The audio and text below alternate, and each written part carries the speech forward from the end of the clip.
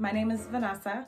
I'm actually super excited to start this like new series dedicated to nuclear medicine content. I actually posted this picture on my Instagram asking if there were any questions or any ideas and I was not expecting the type of response that I got. So I feel like I have to do this. I, I'm gonna start. What I wanna do first is kind of just address y'all's questions. So this will be a Q&A video. And the very first question I feel like I need to start out with is what is nuclear medicine? Nuclear medicine is a branch in radiology.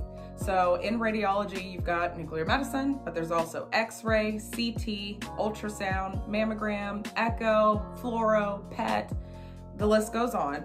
What makes nuclear medicine different is that the camera used in nuclear medicine does not emit any radiation. The radiation is actually in an injection. And depending on what type of test that you're performing, that injection is different for each test. Every other modality is actually looking at the anatomy of the patient, what something looks like. Nuclear medicine is used to look at the physiology of the body. So how is this organ working? Which is pretty amazing to me.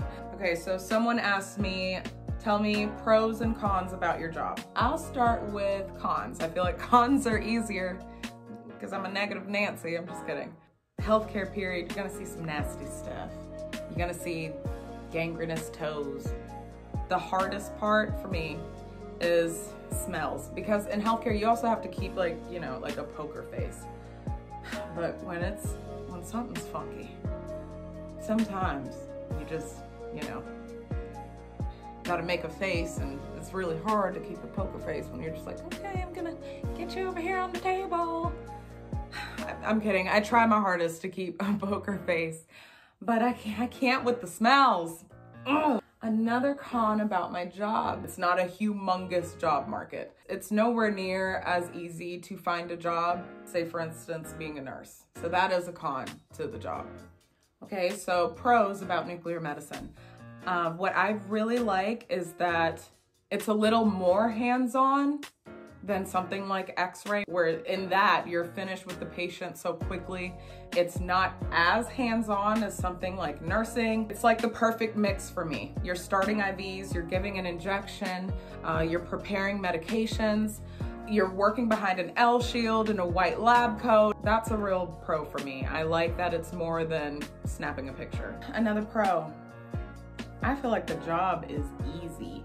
The hardest part is school, like learning everything. Don't get me wrong, there are some days where you're like, you worked for your money today. Another pro, the pay. The pay is among the highest in modalities of radiology. Okay, another question someone asked me was, is the job what you thought it would be after graduating? That's a really good question. Um, yes and no. Yes, because you have, I had a whole entire year of clinical rotations. So, I mean, you get a really good idea of exactly what you're going to be doing. So yes, it is in that aspect. And I'm going to say no because the job that I landed after graduating, I'm the only nuclear medicine technologist in the department, and I was not expecting that. Someone asked me, was it easy landing a job after you finished school? Were you able to get a full-time job right away? Oh, it was not easy getting a full-time job after graduating. Um, I did get a couple of PRN offers. I was looking for full-time, so I did not accept any PRN positions. Four months it took me to get a full-time job, but my advice is to be open to moving. And that's specific to the state that I live in. There are states where it seems like there's way more nuclear medicine job openings and look online and see what's available close to you. Pretend like you're applying to a job and you can kind of get an idea what's available. But there are places where it seems like Florida, New York, California, Texas, they always have job openings. South Carolina is just like slow. People, since it's a good job, people don't want to leave until they like retire or die. So I don't know. All right, so someone else asked me, talk about your schooling process and interview process, what the questions were like. I would have loved to see a video about this before I interviewed, my God. I was so nervous for my interview. Um, but okay, so for schooling, at least here um, in South Carolina, there is one technical college that offers a nuclear medicine program. And the prerequisite to apply to this program is, of course, a certain GPA and um, need to have at least an associate's to enter this certificate program. And the program here in South Carolina is just one full year. Okay, so then my interview. Um, interviewed late. I can't remember exactly what the issue was, but there was an issue. There was only one spot left, and it was between me and one other person. And I don't know who that person is. Sorry to that person. But I'm trying to remember questions they asked me. Before we interviewed for the position, they gave us the opportunity to do like a job shadow. I took notes at my job shadow because I just knew that something was going to be questioned during the interview. Lucky me because they did ask in the interview, you know, what stood out to you? And I remember what blew my mind then was they were doing a test. It's called a gastric empty test. And you have to prepare an egg. They made this egg a scrambled egg. Uh, but before they cooked the egg, they squirted some radiation into it.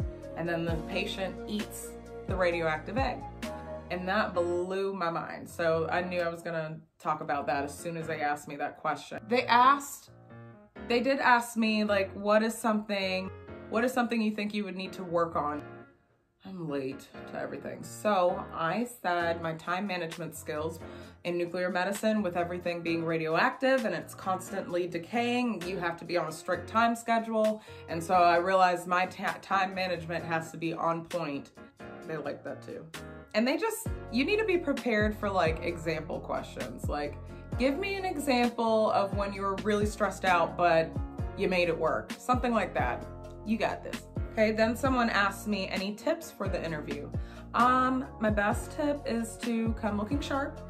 Dress like you would for a job interview. Don't walk in there in jeans. Don't, do not show up in scrubs.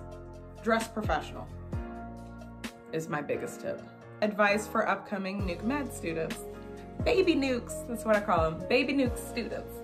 Advice would be if you have not job shadowed, definitely do. A lot of people, just healthcare period, come in thinking they can do it and they, they just realize, oh my gosh, no. Another tip I can give, before I did the nuclear medicine program, I hadn't really been inside of a hospital. So just the hospital environment was freaking me out. It was stressful. Just, you know, seeing doctors running around, zipping past you, looking at all this equipment that you don't know what it is, what it's used for, what they do, who's dying over there. Stick in there because you get used to it. You're gonna get so used to it, it'll feel like home. but I do remember being like, ah, my first couple days in the hospital. You need to brush up on math. The math can get pretty insane. Like it, it gets pretty intense. And just do not fall behind. Every equation that you learn in the beginning will be part of an equation for the stuff that you learn in the end. So you absolutely have to learn the fundamentals. Study, study, study. It was tough, I'm not gonna lie. Okay, another question the last one I'm gonna do. Was the certification test hard? Woo! Was it hard? That test was so hard. I mean, I was like sweating in there. It took me like two and a half hours to take that test. I'm not lying when I say it was the hardest test I've ever taken. And since that nuclear medicine certification test, I have also taken the CT certification test that's offered through NMTCB. That CT test was a piece of cake compared to the nuclear medicine test. No lie. So you you just you gotta study and you have to study because all of this is going to be brand new information to you you didn't know what the half-life of technetium 99m was this is all brand new information so you have got to drill it into your head plus people's lives are on the line here so you you need to know not just memorize but you need to know what you're doing and what you're talking about because you could kill somebody one day. So I don't want to make this video too long. I promise I will post more. The response y'all gave me made me so happy, so thank you. I did get some questions, so I'm gonna put this out here. Somebody asked me to be a private tutor, y'all. I'm not doing that, okay? I'm not doing that. I'm not helping nobody write a paper. Don't send me your homework. I'm done with school.